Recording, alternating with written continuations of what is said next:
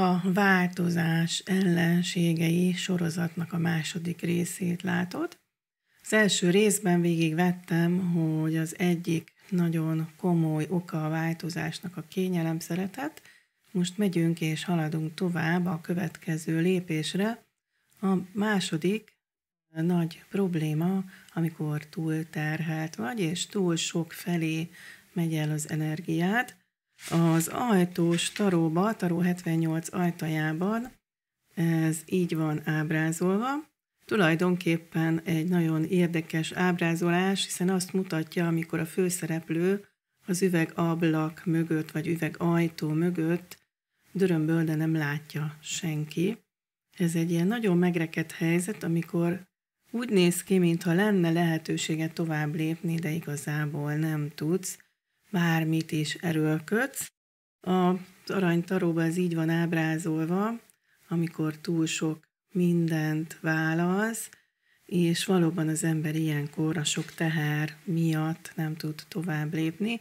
Ez egy nagyon komoly akadály, hiszen ma a munkáltatók is igyekeznek túlterhelni a dolgozókat, és hát ha valaki válkozó, akkor is igyekszik ahhoz, hogy a piacon maradjon, nagyon sok mindent csinálni, hiszen ma már ugye egy dolog kevés, amihez értesz, nagyon sok mindenben kell jól teljesíteni, és óhatatlanul az ember elérkezik ebbe az állapotba, be a bottizás állapotba, amikor úgy érzi, hogy majd megszakad a sok munkába, rettenetes terheket cipel, hát ilyen helyzetben bizony nem könnyű változtatni, hiszen fizikailag nagyon le vagy gyengülve, és többnyire valóban kilátástalannak is látjuk ilyenkor a helyzetünket.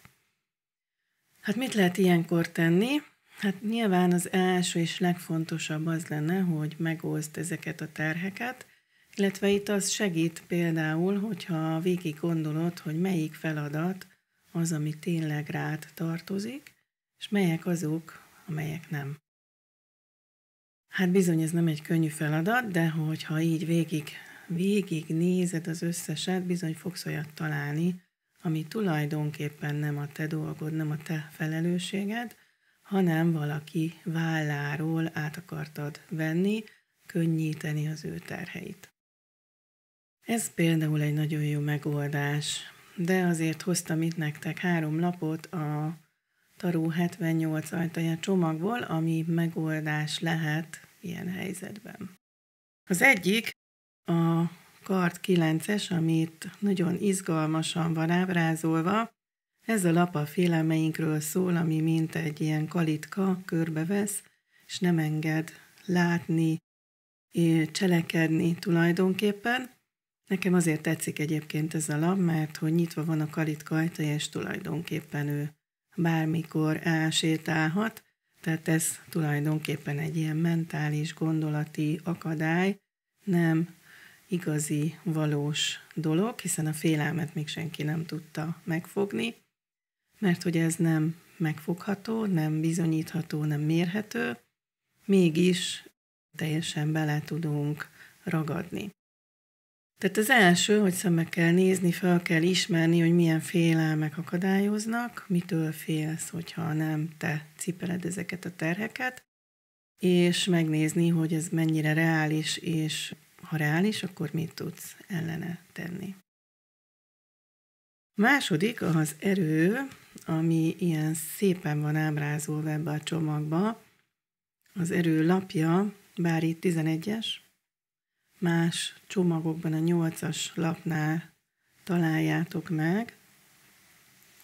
Az erő lapja az arról szól, hogy össze kell gyűjtened az erőt. Hát de mi adhat erőt? Ez egy nagyon fontos kérdés.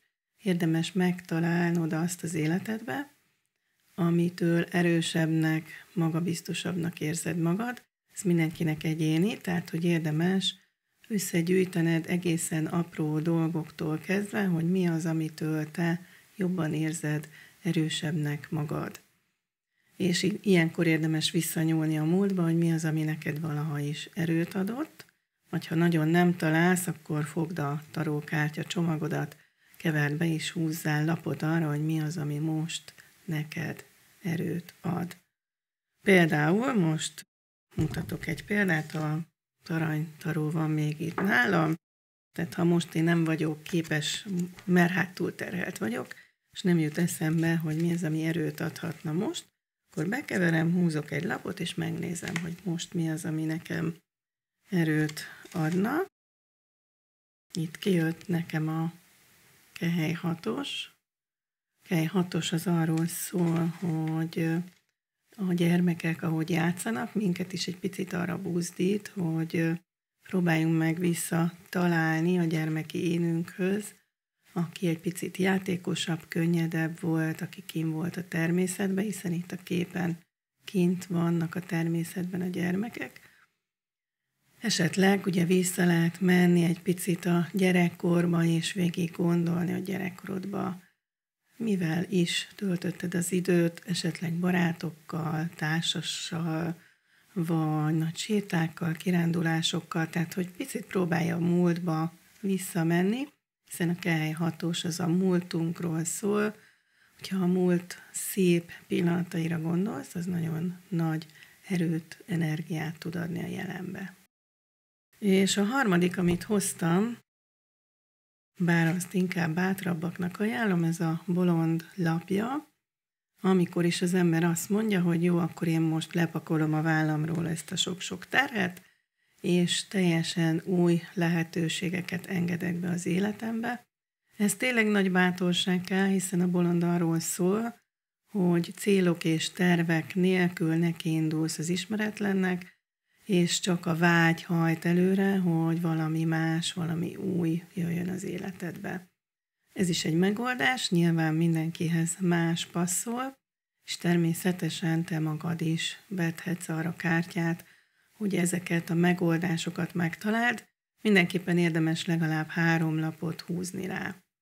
Természetesen, hogyha szeretnéd, akkor egyénileg is jöhetsz és kérhetsz tőlem elemzést, tanácsadást, és akkor ott konkrétan személyre szabott megoldásokat fogsz kapni. Ha tetszett a videó, akkor kérlek lájkold, illetve ha még nem tetted meg, akkor iratkozz fel a csatornára. Köszönöm szépen a figyelmed!